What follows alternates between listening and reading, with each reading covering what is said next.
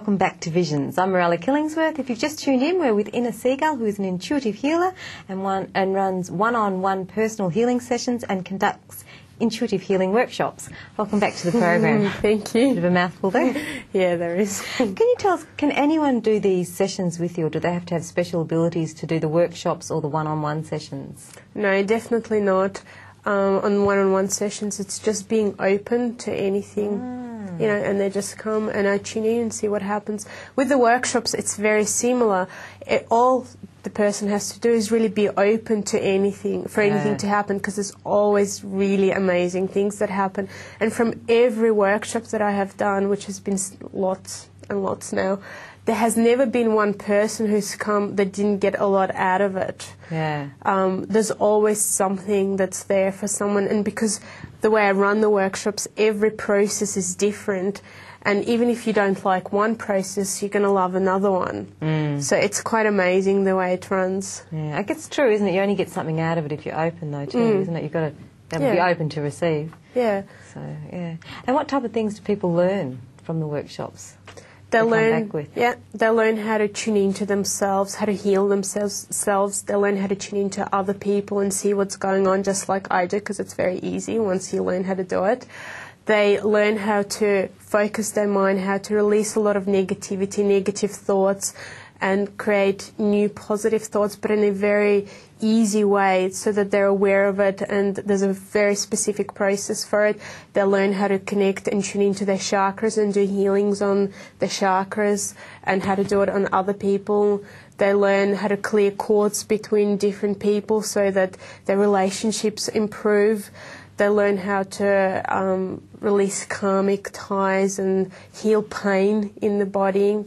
So they really learn how to change their life, literally, and um, how to connect to their inner child. How to Like that just- McDonald's ad. yeah, like sort of. Sorry, joking.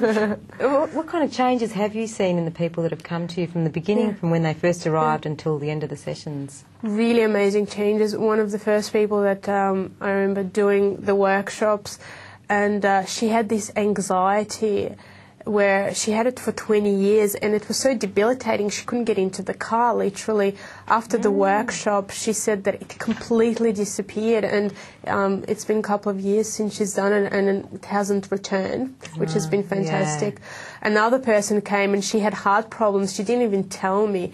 And initially, she actually struggled a bit through the workshops until we actually started working with the heart energy.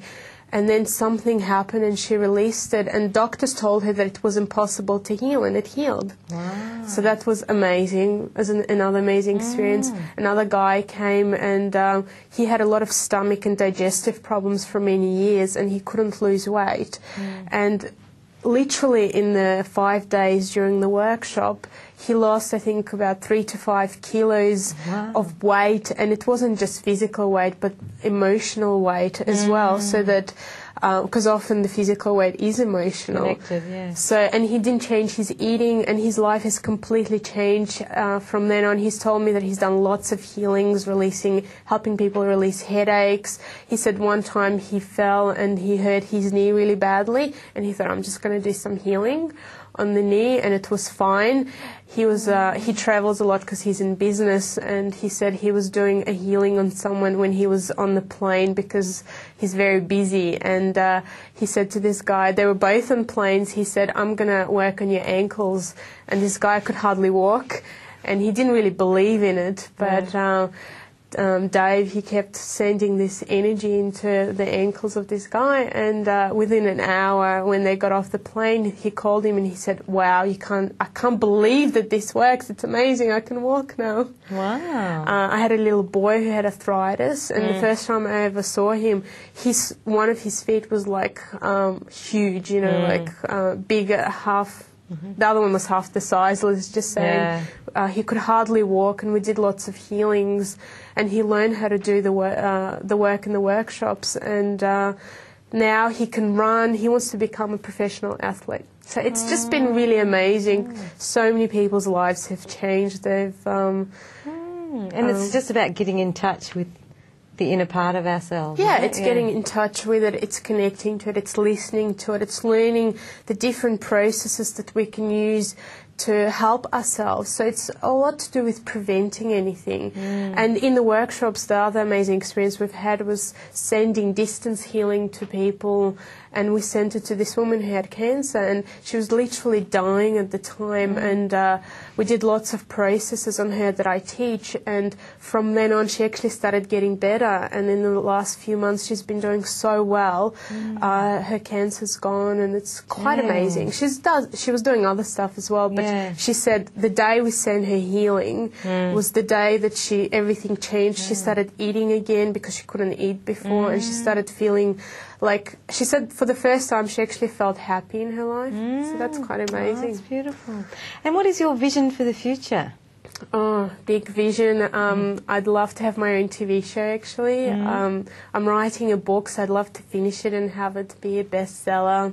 Mm-hmm. I'd love to create more CDs, which I'm working on at the moment as well, and run lots of workshops all over the world. So that's the vision. So you're going to be pretty busy for the next hundred years. yeah, sounds like it. Oh, beautiful. Well, thank you very much Thank for you. coming on the program. I'm sure you've helped a lot of people. I hope so. I really enjoyed it. You've been watching Visions. Our guest was Inna Segal, and I'm Mirella Killingsworth. See you again soon.